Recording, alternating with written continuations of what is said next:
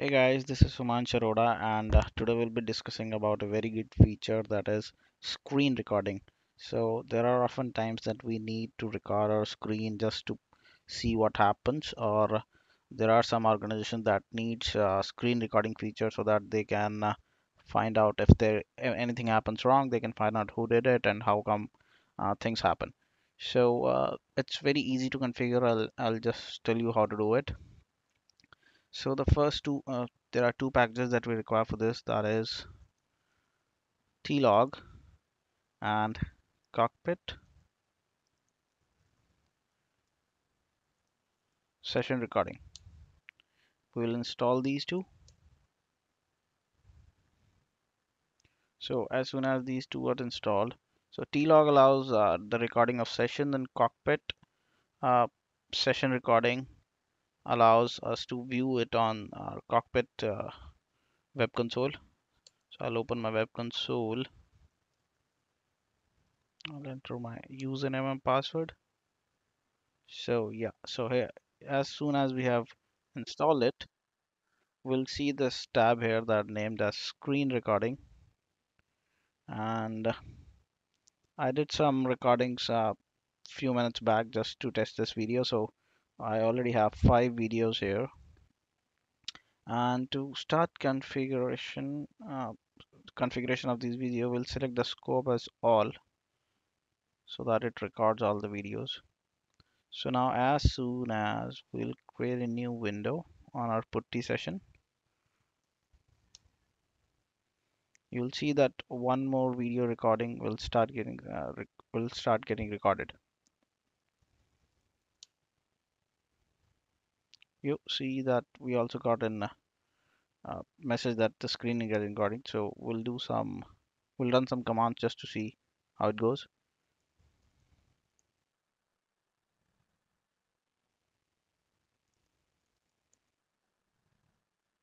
Also make some mistakes. I'll also sub type in and remove something so that we see it well on the recording. Uh, okay I guess that would be enough. And we'll do an exit. That's it. See? Now we have a sixth video here. That is of 23 seconds. So if we go to recordings uh, we can see we can sort it by user start time end time and also with the duration. Also we can have filter out all the recordings with time and we can search it also there are a few configurations that can be done via the configuration button. So let's go to the video or uh, the screen recording. See I just hit a play and you'll be able to see uh, what I did while on that session. Even it'll take the same pauses as we took.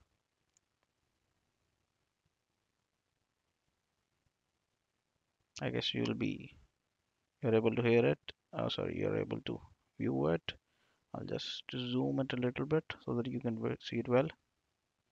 Yes. See that's that's a very good tool I'd that's why I wanted to make a video to show you all. Yeah that's it.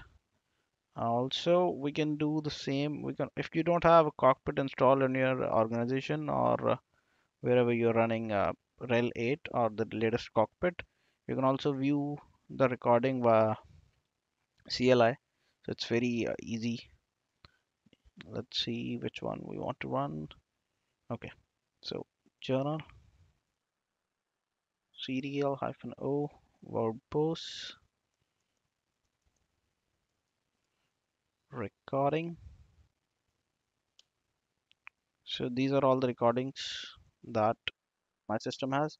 Uh, we want to see the latest one that is a2df4 now we'll do a tlog play hyphen r journal hyphen m tlog underscore rec is equal to recording id that is this one. And I'll press an enter. So I've I'm not typing anything now. It will play everything that we did uh, on our last session